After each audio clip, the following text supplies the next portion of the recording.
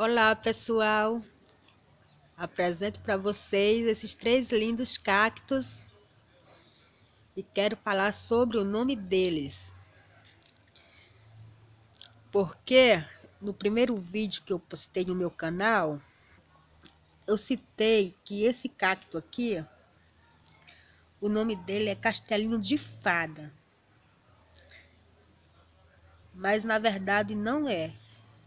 Eu passei muitos anos enganada, chamando ele de castelinho de fada, porque sempre me falaram que era. E eu acreditei, né? Por falta de experiência de, de conhecer o nome dos cactos, sempre achei que ele, ele era o castelinho de fada, mas na verdade não é.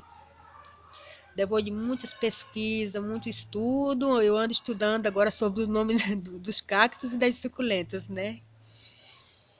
Então, eu descobri que o verdadeiro nome dele é Ceros Jamacaru. Ele é da família dos monstruosos, né? Dos monstros. Gente, essas duas mudinhas, eu tenho elas há quase 10 anos. Quer dizer, elas não.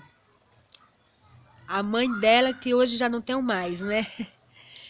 Infelizmente, entrou um gato aqui dentro do meu quintal e nesse dia foi o fim de vários cactos meus, né? Meu cachorro tem pavor de gato, ele não pode ouvir um miado de um gato, que ele fica desesperado. Então eu tinha um vaso já com três pés desse cacto, tava grande, tava lindo, lindo, lindo. Mas meu cachorro destruiu vocês não acreditam como ele ficou. Sobrou pontinhas. Eu fui, peguei as pontinhas, catei e replantei. Mas como ele é um cacto maravilhoso, ele é um cacto super resistente. Eu deixo esse cacto exposto à chuva, exposto ao sol direto. E ele está sempre assim, verde, bonito. E nunca deu praga nenhuma nele. Então eu acho ele maravilhoso. Eu tenho essa espécie há quase 10 anos. Então, voltando ao nome, quero mostrar para vocês o verdadeiro castelinho de fadas, que também é conhecido por castelinho de fadas, que é esse aqui. Essa mudinha, essas duas mudinhas que me deu foi meu esposo. Chegou aqui com essas duas mudinhas muito pequenininha, muito pequenininha mesmo. Eu coloquei ele aqui nesse vasinho. Olha só esse sapinho como é folgado, gente.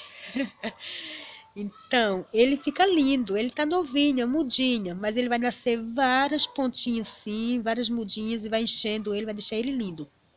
Então, esse aqui é o Ceros tetragonos, mas também é conhecido por castelinho de fada.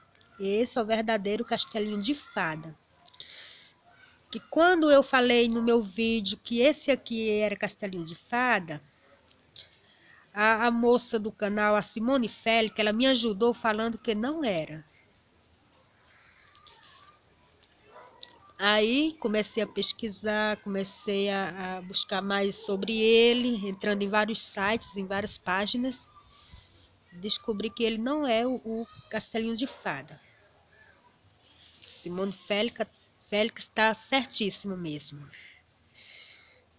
Então, é esse aqui, o verdadeiro castelinho de fada. Gente, olha lá no fundo, o meu pé de vinca, que também é conhecido por boa noite, da flor branca. Lindo, enorme, lindo, lindo. Eu estou aqui no finalzinho do quintal para ver se evita um pouco o barulho, né? Porque, gente, eu nunca vi uma rua tão barulhenta como essa minha. É incrível. Como é uma rua muito tranquila, um, é um lugar muito sossegado, muito tranquilo, a mãe deixa as crianças brincar na rua. Então é criança o dia todo brincando na rua, gente. E também quero citar um outro canal que eu gosto muito, que é da Nadi Macedo. Ela é uma pessoa maravilhosa, muito gente boa. E peço que vocês dêem uma passadinha lá, visite o canal dela. Ela tem plantas lindas, ela mostra sempre o jardim dela. Eu acho muito bacana. O assunto sendo plantas, eu acho divino, gosto muito mesmo, muito. Então é isso, gente. Espero que vocês tenham gostado do vídeo. que agora terei a minha própria dúvida sobre o Castelinho de Fadas e quis passar isso para vocês, para que vocês também, desde já, já fiquem sabendo o verdadeiro nome de cada um deles, tá ok? Um grande beijo, fica todos com Deus e até o próximo vídeo, se Deus quiser. Tchau, tchau.